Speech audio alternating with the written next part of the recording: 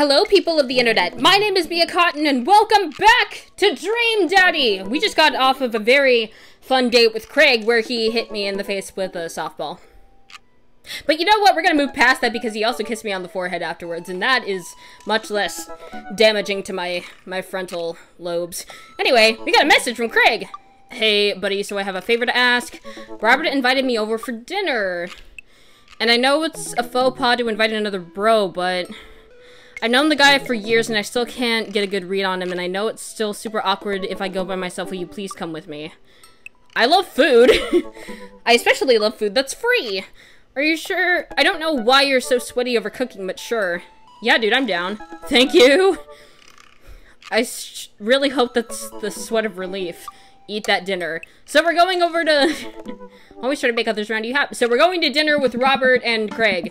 That doesn't sound too bad. I could definitely go for free food, but why is Craig being so apprehensive? Does he know something about Robert that I don't? Oh my god. I hurry up and reply before my dad brain can work itself into a paranoia, uh, paranoia spiral. Yeah, dude, I'm down. Thank you. Didn't I already type this? Craig and I just had to meet up before heading over to Robert's place. Craig's waiting on my porch, bottle of white wine in hand. Hey! Harry! Boy, am I glad to see you. Likewise, man. Classy of you to bring wine. Nice. Oh, it's not wine. It's sparkling apple cider. Robert literally has a wine cellar, so I think he's good. Wow. Or at least I think he has a wine cellar. I'm genuinely unsure if he was telling the truth or not. I can never tell with him. Nobody can, Craig. It's okay. It's okay. Nobody knows what Robert's really like, but I hope to find out over the course of possibly two dates. Definitely two. Maybe three, depending on what happens near the end of the game. Anyway. Oh. Thank, thank God it's not just me. I never know. Hmm. He's so deadpan about everything. I usually just laugh it off, but man, that guy is an enigma. The machination, the inner machinations of his mind are an enigma. Milk. we start walking over to Robert's house. Does Robert even know how to cook? I have sincere doubts about whether he even knows how to shave properly or iron his shirts. I feel like you could learn to cook after you learn those two first. Dude. One time I saw him grab a hot dog from a trash can. Ew. Ew. Hmm. I mean, it was at the very top of the trash can, like sitting above it, but still. If it were on trial, I think the jury would define that as in the trash. In his defense, I've definitely considered grabbing food from the top of the trash before. Well, yeah, I think we've all considered it, but the difference is that Robert actually did it. True. Maybe he's the enlightened one. Maybe we're holding ourselves back. Or maybe we don't want to eat out of the trash. Nice. We arrive at Robert's house and ring the doorbell, which is on a different street and not in the cul-de-sac for some reason. We are, uh, but the doorbell won't chime. Hmm, must be broken. Craig knocks on the door a few times. Since when does Robert have a dog? I don't know. I don't know, that's weird. I can hear Robert just inside. One second. This is uncharted territory, Harry. What if he's the one making the barking noises and there is no dog? Don't say that. We're not even inside yet. Wait, is Robert a werewolf? Robert's a werewolf. Finally, the door opens and Robert looks a little surprised to see me. Oh. Harry, didn't know you'd be tagging along. I don't know. Did Craig not tell Robert I was coming? Come on, Craig! Craig! now I just look like I barged in on this event. What the fuck, Craig? I thought you were my bro. I, I can leave if there's not. No, it's fine. Come on in. Oh, look! Nobody cleaned up. look at all of those clothes on the sofa. Come on, man. We enter Robert's living room, which is surprisingly really nice. Super messy, but still nice. Oh, he's got a record. Look at all those records on the wall. Okay, I forgive the clothes on the flo- on the on the couch. Make yourselves at home. We can still hear barking from the other room. I didn't know you have a dog, Robert. Oh yeah, that's Betsy. Have to put her up when guests are over. She'll calm down in a bit.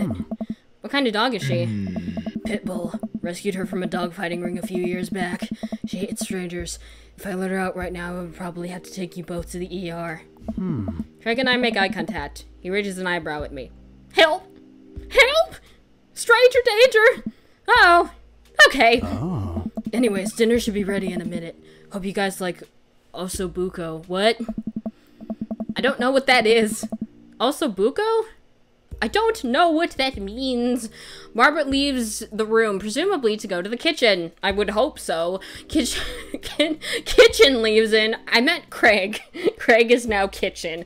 Craig leans in and whispers, Was the dog fighting a real thing or was he kidding? I don't know. Bro! I'm scared. What's ossobuco? I don't know. Did he make up that word? Until I have ossobuco in front of me, I we can only assume so. We sit in silence for a second, taking in Robert's living room. Look at all this living room. Are we about to get sawed? Hmm. Nah, usually you wake up in those situations. We voluntarily walked into this one. Hmm? Robert finally walks into the room, carrying three paper plates of steaming food like a waiter. Paper plate. Well, I mean, I guess it's kind of good when you have guests over, because then you don't have to do dishes, or you don't have to do as many dishes. Hot tip. I don't have a dining table. Don't trust them. So we're eating here. You don't trust dining tables? What the fuck does that mean? Also, I don't have real people plates. Hope that's okay. Why am I I'm mixing together Craig and Robert's voices? Robert sets the plates in front of us on the coffee table. I still can't tell what it is. Looks like meat. Maybe. Lots of sauce. I can make out some vegetables. I think that might be rice, but it could also be pasta. Because there's only one way to find out. Hang on. I'm actually gonna look up what ossobuco is, so I'm not going into this completely blind. Uh, so... Uh, specialty of Lombard cuisine crushed. Uh, oh, it's like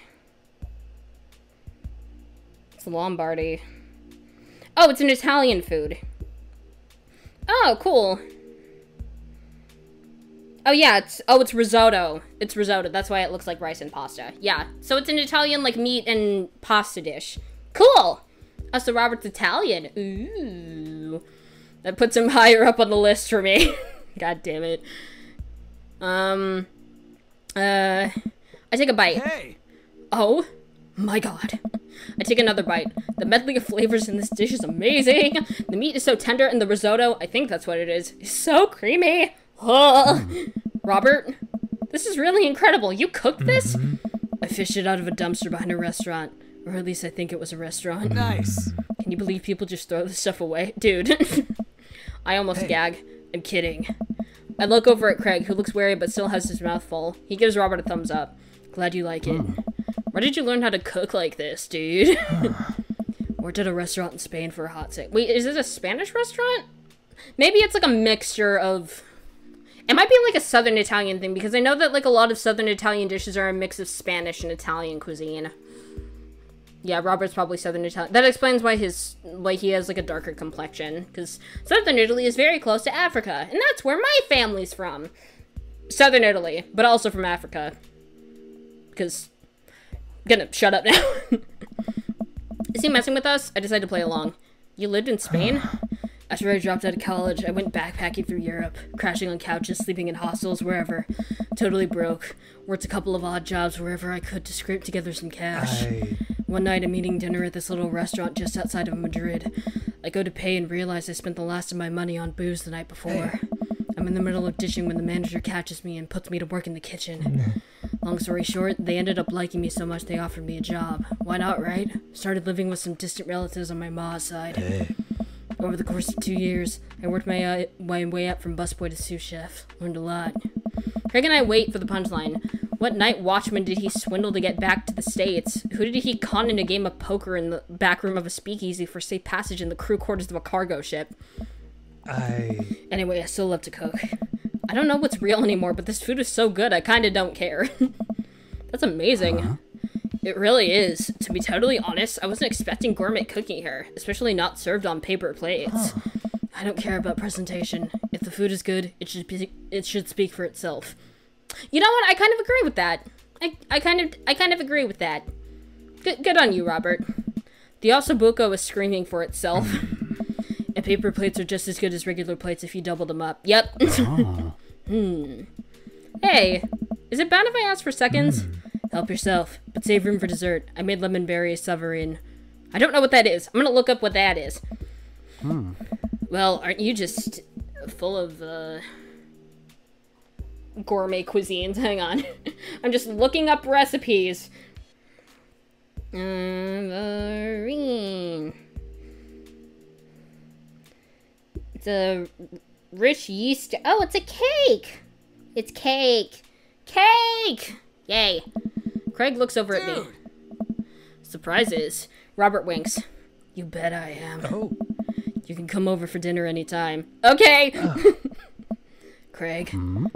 Uh, I'm gonna go get seconds. Me too. After consuming way more ossobuco than my body can handle, and then really ensuring a light a later food coma with a generous serving of whatever savarin was, Craig and I decide to head out. Thanks for coming. I'm making an attempt to be more social. Aw, Robert. We appreciate your efforts are much appreciated. Well, we're always happy to stop by if you want company. Especially if there's ossobuco involved. It's never too early to invest in a personal IRA. Welcome. You've got Dad. Well, that was fun. That was a fun little side mission. All right, we are going to roll, um, because there are only four dads left, we're going to, well, in this round, we're going to roll a d4, which is a four-sided die, to see who, which dad we go out with next. Ah, dang it. Uh, I'm to re-roll that, because I couldn't see. God damn it, why is it always coming behind my desk? Okay, let's try this again. Two. Oh, Robert. Cool. All right. Alright, so we're going with Robert. When the internet gains sentience and decides to destroy us all, you'll know it'll use this information against us, right? Oh god, that's... Okay, part of the reason that that's funny is... Well, it's funny because Robert and his conspiracy theories, but also, um... Robert looks a lot like, um... One of the characters in the David Cage game Detroit Become Human, Gavin Reed. Like an, like an aged-up version of Gavin Reed. Which is a game about AI and androids gaining sentience. And that joke is not as funny as I thought it was going to be. So I'm just going to shut up and we're going to send a message to Robert. Always try your best at everything. I do. And then I fall flat on my face. And nobody laughs at me. And then I get sad. Robert was pretty nice. A little odd, but nice. And ruggedly handsome. We should hang out. I type um, out a message to him on Dad Book. Hey Robert, good seeing you again at the cookout and at dinner last night. Wanna grab a drink? I sit there for a couple seconds, hoping he'll message me back. Hey, it says that he read my message. I got left on red. No! Excuse me. Rude. I anxiously wait for a response. I'm gonna watch some cat videos on the internet. I start down a rabbit hole of cat videos and Robert quickly vanishes from my mind. I didn't realize how long I've been doing this. By the time I watch my 30th cat video, Robert pops back into my head.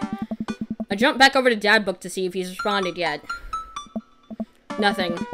Well, I guess the guy's busy, or he doesn't want to hang out with me. But we bonded over Spanish food. I may as well make the best of my day. Not eating Spanish food at Robert's house. I get up, walk to the living room, and then sit down and turn on the TV. Uh, if I watch the food channel, I'm gonna miss it. its cooking. I'll watch a uh, game show. Ooh, Family Fortune's on. Alright, Nicole. Your parents are in the lead, and it's up to you to win it big. Are you ready? I'm ready. They hook the contestant up to a lie detector in front of her parents. Who is your favorite parent? Uh, my mom? Ooh, sorry, incorrect. Next question. If both of your parents were hanging off the edge of a cliff, which would you save? Ah! This is terrible. I love it. I lose several hours to whatever the hell that was. Sighing, I get up and walk around the house. My stomach grumbles. Time for lunch, huh? Well, I guess it's time for old Chef Hopper to cook up a gourmet delicacy that isn't made in Spain, Robert. I walk over to the refrigerator and open the door. Uh, mustard, ew, make a sandwich.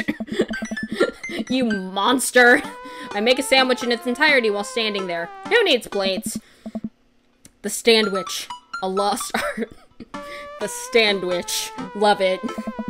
I admire my work for a second before I clumsily drop the entire thing on the floor. There's a reason that art was lost. There's a reason that it died. Like disco. No! I look around and remember that Amanda's not home. This is still good. Five second roll, right? I reassemble my sandwich, peeling pickles off the. Ew, the inside of the sandwich came. Oh, cool. One of my friends is playing a way out. I reassemble my sandwich, peeling pickles off the floor and putting them back where they belong, in my mouth. Ew. First of all, pickles. No. Fight me. Second of all, I I didn't know that the entire thing just like spilled out and like un like crumbled itself onto the I can't speak. But you know what I mean. Wait, I'm a wreck. I finish my snack and walk around the house some more, bored. When is Amanda coming home? When is Robert going to answer me? I'm so lonely. Oh, I just remembered something. When we were packing up the old house, we found an old basketball hoop that would hang off of a door. I would really, it would really bring the living room together. I wonder where I put that.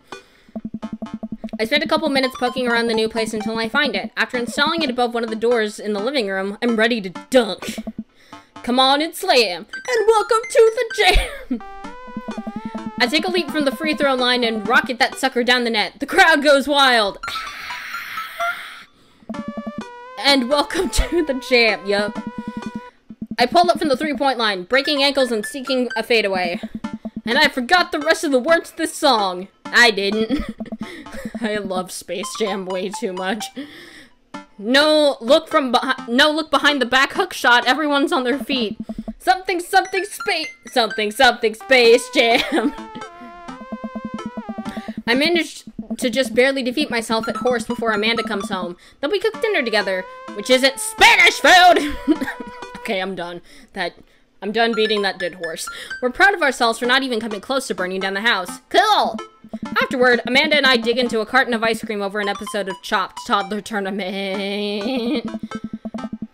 What you have in front of you is a molecularly deconstructed sweet potato with a brown sugar demi-glaze with creme fraiche, of course. This is literally a jar of baby food. The toddler immediately bursts out into tears. Hmm. Are we bad people for watching this? Yes. Just then, my computer dings. Is it Robert? Huh? What's that? You probably just got a message. What is that noise? Where was it coming from? Amanda and I walk over to the computer and check dad book. It's a message from Robert. you up? What does that mean? What are you doing? is he is he trying to booty call me? That's what you up usually means. Enzo. Hang on, I gotta let my dog out. Never mind, I guess he's not leaving. What am I doing? You're just chilling. Uh... I'm just chilling. I type back, just chilling. Amanda deletes the G and hits send. Ah. It'll make you look cooler. A couple moments pass by. Another message pops up. Hey! Want to grab a drink? Hey, that means he wants to hang out! What? Robert wants to hang out with me? Oh my god! I'm cool now! what is that voice that I'm doing?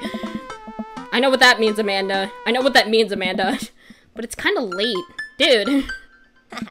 Come on, Pops. Live a little. I am living with ice cream and traumatized toddlers at 7 p.m. well, it's your life, but I think you have a you'd have a lot of fun tonight. You are trying to get to know the neighbors better, aren't you? Uh, fine. I'll go out and interact socially, I guess. I type back a message to Robert asking him for details, and he tells me to meet him at Jim and Kim's. That's where we met before. Oh my god. Well, don't wait up for me. And that is where we are going to end today's episode. On the next episode, we are going to go on a date with Robert at the place where he tried to proposition me to sleep with him. Alright, so thank you everybody very much for watching. Um, quick reminder that I post new videos every Monday, Wednesday, and Friday at 12 p.m. Pacific time. If you are interested in keeping up with this series and any other series that I post in the future, you can click the subscribe button down below. And if you want to, you can follow me on social media at Mia Cottontail on uh, Instagram, TikTok, and Twitter. Um, so that's everything, and I will see you guys next time. Peace.